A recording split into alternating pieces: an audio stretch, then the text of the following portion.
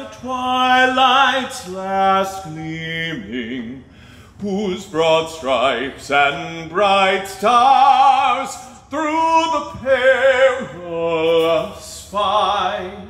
Oh, the ramparts we watched were so gallant.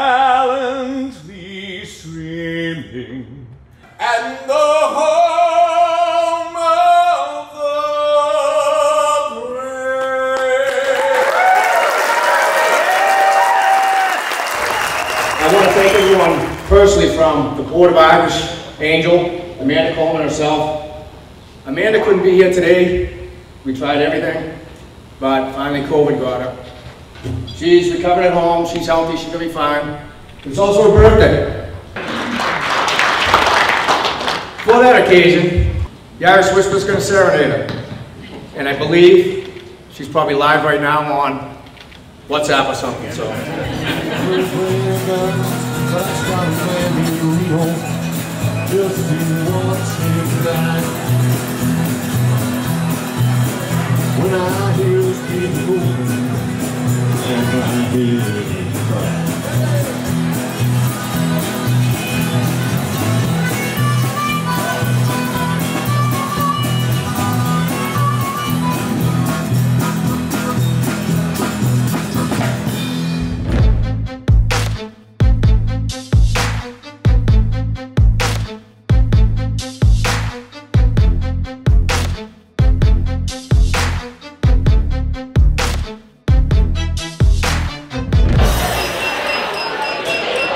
walk in here, a bajillionaire tonight.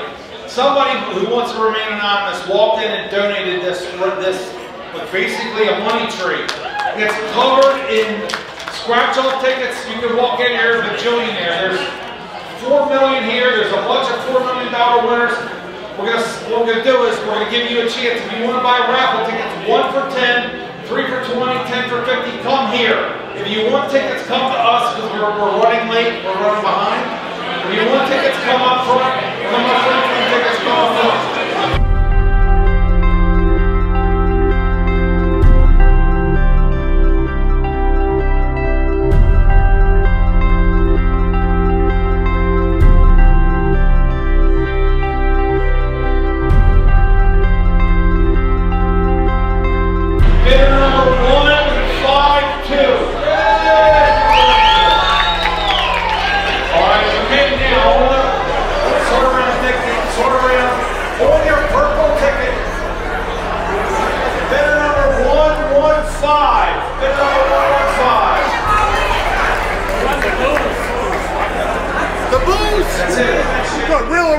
Right now.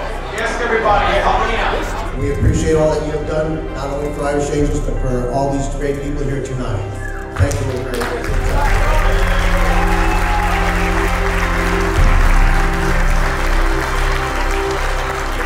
Since I took this position on the board, we've lost 500 to suicide. Prior to that,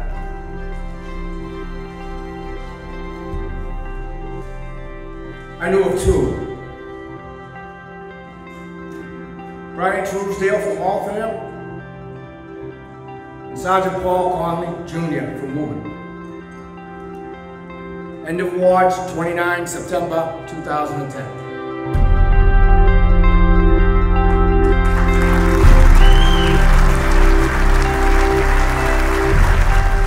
I know the difficulties that law enforcement in particular face when it comes to their jobs, the stress that goes with it and everything else.